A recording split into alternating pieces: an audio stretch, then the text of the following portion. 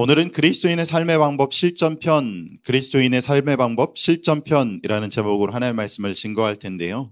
베드로는 베드로 전서 2장 10절에서 우리의 정체성을 이야기하고 있습니다. 여러분, 어제 제가 설명을 하면서 정체성이 뭐라고 말씀드렸습니까? 하나님의 백성이요, 극률함을 얻은 자. 하나님의 백성이요, 극률을 얻은 자가 바로 누굽니까? 저만입니까? 아니면 성경에 나오는 그 성경의 어, 수신자들, 어, 편지를 받는 자들만입니까? 아니죠. 바로 오늘 이 자리 가운데 나와 예수 그리스도를 나의 구주요, 나의 모든 것입니다. 내가 주님을 찬양합니다. 라고 찬양하는 저와 여러분들을 이야기하는 것입니다. 하나님의 백성이요, 긍휼을 얻은 자다라는 것을 분명히 기억하셔야 합니다. 또한 이 땅을, 이 땅에서 살아가는 그리스도인의 모습은 거류민이자 나그네라고 말하면서 이 땅을 살아가는 그리스도인의 삶의 방법들을 쭉 어제 설명을 드렸죠. 어제 본문에서는 그리스도인의 일반적인 삶의 방법을 이야기했다면 오늘 본문에서는 좀 더 구체적으로 가정에서 또 교회에서 세상 가운데서 그리스도인은 어떻게 살아가야 할지에 대한 구체적인 실전에 대한 것을 이야기해 보고자 합니다. 먼저 가정에서 그리스도인의 삶의 방법을 이야기하면 이야기하면서 아내가 남편에게 어떻게 해야 될지에 대해서 이야기하고 있습니다.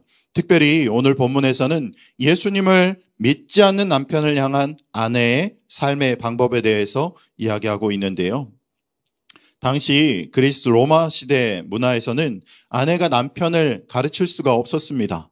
아내가 남편을 직접적으로 가르치는 것을 것은 남편과 가정의 수치로 여겨졌습니다. 디모데 전서를 통해서 당시의 여성의 상황을 살펴볼 수가 있는데요. 여자는 일체 순종함으로 조용히 배우라. 여자가 가르치는 것과 남편을 주관하는 것을 허락하지 아니하노니 오직 조용할지니라 라면서 이런 분위기를 엿볼 수가 있습니다. 남편을 직접적으로 가르칠 수 없는 상황 가운데 당신 예수 믿어야 돼. 당신 교회 나와야 돼. 당신 예수 믿어야 돼. 라고 이렇게 직접적으로 이야기할 수 없는 상황 가운데서 예수님을, 예수님을 믿는 아내들은 어떻게 그리스도를 전하, 전할 수 있었을까요? 오늘 본문은 남편에게 순종하라 라고 말씀하고 있습니다. 여기서 아내가 남편에게 순종해야 하는 목적은 무엇일까요? 아니, 내가 왜 이 사람한테 순종해야 돼? 내가 왜 이 사람에게 순종해야 돼? 라고 생각할 수 있지만 아내가 남편에게 순종하는 목적은 아내의 순종의 모습을 통해서 예수님을 알지 못하는 또한 믿지 않는 남편이 예수님을 믿게 될 것이기 때문입니다. 예수님을 믿지 않는 남편이 자신을 향한 아내의 순종의 모습을 안 보고 있는 것 같지만 다 보고 있습니다. 베드로전서 3장 2절 말씀인데요. 너희의 두려워하며 정결한 행실을 봄이라. 쉬운 성경으로 읽어드릴게요. 남편들은 여러분이 하나님을 경외하며 깨끗하게 살아가는 것을 지켜보고 있습니다. 라고 말씀하고 있죠. 저는 예수님을 알지 못하는 가정에서 나고 자랐어요. 중학교 3학년 때 처음 교회를 다니기 시작했고 아버지께서 건축업을 하셨기 때문에 입찰이 되어야지만 수익이 생기는 구조입니다. 그래서 저희 집은 공사 입찰이라는 큰 문제와 그 신앙심을 뗄래야 뗄 수 없는 집안이었습니다. 그러던 중 제가 갑자기 교회를 나가게 됐어요. 하나님의 은혜로 성령이 충만해져서 계속해서 나가게 됐습니다. 한 번, 두 번 나가고, 아, 재미없네. 라고 하지 않고 계속해서 나가게 됐습니다. 그러다 보니 이제 점점 제가 교회 다니는 것이 가정에 문제가 되었습니다. 엎친 데 덮친 격으로 건설 경기는 계속해서 안 좋아지고 그 모든 원인들이 다 저에게 오더라고요. 집안에 두 신을 믿으니까 입찰도 안 되고 집안이 힘들어지지 라면서 이야기를 계속합니다. 한 번, 두 번, 한 번, 두 번. 오른쪽 귀로 듣고 왼쪽 귀로 흘리는 것도 한두 번이지. 이게 굉장히, 이 계속 들으면 이 신비에 박히는 이런 역사가 있거든요.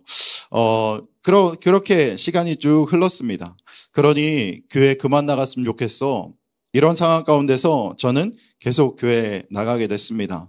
하나님의 은혜인 것 같아요. 야, 그렇게 잔소리 가운데서도 계속해서 교회에 나갈 수 있는 것이 참 하나님의 은혜였습니다. 그리고 교회에서 배운 대로 전도에 힘썼습니다. 엄마, 교회 나가셔야 돼요. 아버지, 교회 나가셔야 됩니다. 나가셔야 돼요. 나가셔야 돼요. 하면서 전도에 힘썼어요. 차근차근 예수님을 전했습니다. 그리고는 핍박이 더 심해졌습니다. 그래도 또 전했습니다. 그러자 교회 다니는 것이 더 힘들었습니다. 그렇게 시간이 흐르고 핍박이 시간이 지나서 한 가지 깨달은 것은 아, 내가 말로만 예수님을 전하면 안 되겠다. 이제는 내 삶으로 예수님을 전해야 되겠다라고 생각이 들었습니다. 그날 이후로는 저는 말로 하는 전도보다 그리스도인으로서 선한 삶을 살아감으로 그 삶으로 예수님을 차근차근 전하기 시작했습니다. 그 생각이 들고 난 이후로 교회 가세요, 교회 가시죠 라고 한, 하는 말은 입 밖으로 한마디도 꺼내지 않았던 것 같아요.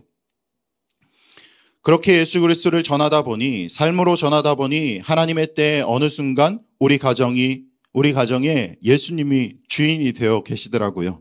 그리고 이제 주일이면 부모님께서는 교회 간다고 하시고 교회 식당에서 봉사한 것이 우리 가정의 대화 주제가 되고 그리고 단톡방에 이제 어머니가 이렇게 이야기하시더라고요.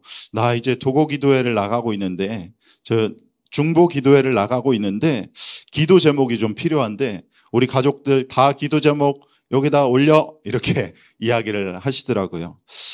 기도할 때 하나님의 때 하나님께서 모든 것들 다 응답해 주시는 줄 믿습니다. 아멘이십니까? 아멘. 혹시 오늘 말씀을 듣는 여러분들 가운데 믿지 않는 남편 혹은 믿지 않는 가족들을 향해서 삶으로 예수 그리스도를 전하시는 분들이 계시다면 그 시간이 참 어렵고 힘듭니다. 아무것도 움직이지 않는 것 같습니다. 어, 계란으로 바위를 치는 것 같은 그런 상황 가운데 있, 있는 모습을 볼 수가 있을 것입니다. 하지만 시간이 지나고 지나서 그 시간을 버티고 견디게 해주시는 하나님의 은혜로 말미암아 시간이 흐르고 흘러서 하나님의 때에 이 성전에 함께 나와 하나님을 예배하고 찬양하며, 찬양하며 최고의 하나님께 최선의 예배를 드리게 되실 줄 믿습니다. 아멘이십니다. 아멘. 아멘. 어, 아내분들에게 전할 희소식 무엇이냐면 음, 베드로는 아내들에게만 남편에게 순종하라고 이야기하지 않았습니다.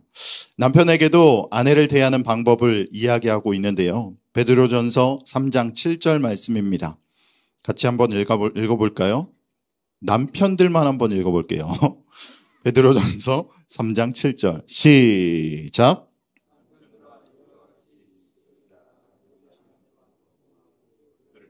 연약한 그리시오 또 생명의 은혜를 함께 이어받을 자로 알아 귀히 여기라. 이는 너희 기도가 막히지 아니하게 하려 함이라. 아멘 아멘. 우리 여성분들도 눈으로 쭉 따라오셨죠? 야 희소식이다. 야 희소식이다. 이렇게 생각할 수가 있을 텐데요. 때때로 남편들은 아내를 생각할 때 강인한 사람으로 생각하기도 합니다. 하지만 아내는 연약한 그릇이라는 것을 꼭 기억하고 존중해야 합니다 아멘. 아멘. 네. 어, 또한 남편과 아내는 하나님의 은혜를, 은혜의 선물, 선물을 함께 상속받은 평등한 존재라는 것을 꼭 기억하시길 바랍니다. 남편이 아내가 자신과 평등하다는 것을 알고 더 아끼고 더 사랑할 때 아내는 남편의 돕는 자, 에제르가 되어서 그 역할을 더 잘 감당하게 되는 것이지요. 여러분, 우리 남성분들은 여러분들이 가장 소중한 물건을 생각해 보십시오. 물건을 다 생각해 보세요. 아, 차가 생각나는 분들도 있고, 시계가 생각나는 분들도 있고, 골프채가 생각나는 분들도 있고, 어, 사놨던 그림이 생각나는 분들도 있고, 뭐 여러 가지 많은 것들이 있습니다. 그 위에 아내가 있다라는 것을 꼭 잊지 마시기 바랍니다. 평등하게 아내를 존중하고 아내를 사랑하며 아내를 위해서 더 기도하고 더 헌신함으로 말미암아 아내들은 에젤의 역할을 더 잘 감당하게 되는 것이고 이로써 서로가 서로를 높여주고 존중하고 가정에서 하나님을 어, 예배하고 바라보고 찬양함으로 말미암아 천국을 연습하며 하나님께 영광을 올려드리게 되는 것입니다. 오늘 말씀에서 이는 너희 기도가 막히지 아니하게 하려 함이라라고 이야기하고 있죠. 이는 너희 기도가 막히지 아니하게 하려 함이라. 이는 다른 말로 하면 무엇입니까? 하나님은 아내를 존중하고 사랑하고 아끼라는 하나님의 뜻을 행하지 않는 남편의 기도를 듣지 않으신다. 이 말입니다.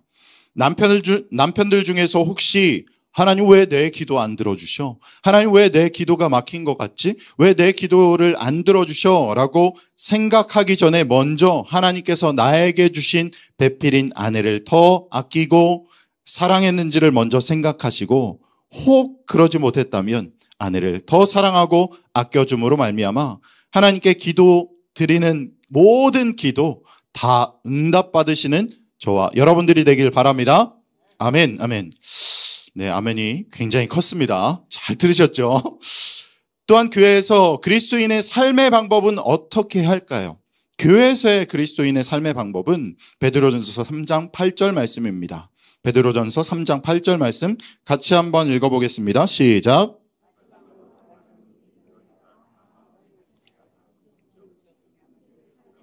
불쌍히 여기며 겸손하며 우리가 방금 읽은 8절 말씀은 마지막으로 말하노니 라고 말을 시작함으로써 어제부터 계속해서 전한 그리스도인의 삶의 방법을 정리하는 것입니다. 8절과 9절을 통해서 그 말씀을 정리하고 있는데요. 그리스도인이 교회에서 함께 예수 그리스도를 믿어 하나님의 자녀된 형제 자매들에게 어떻게 해야 될지를 이야기하고 있습니다. 8절은 교회에서 함께 예수님을 믿는 사람들을 향한 삶의 방법들을 말씀하고 있는데요. 한 절이지만 무려 다섯 가지를 이야기하고 있어요. 먼저 첫 번째, 마음을 같이 해야 된다. 두 번째, 동정해야 한다. 세 번째, 형제를 사랑해야 한다. 네 번째, 불쌍히 여겨야 한다. 다섯 번째, 겸손하라라고 이야기하고 있습니다. 여러분, 다섯 개를 떼어보면 굉장히 많은 것 같지만 이것은 하나로 연결되어 있습니다. 가운데 있는 형제를 사랑하는 것을 중심으로 형제를 사랑하는 마음을 통해서 그들의 상황을 유심히 살펴보게 되고 동정하고 또 불쌍히 여길 수 있는 마음을 품게 되는 것이죠. 또한 형제를 사랑하는 마음을 통해서 한 마음을 품게 되는 것이고 겸손한 자세로 그 형제 자매들을 섬기게 되는 것입니다.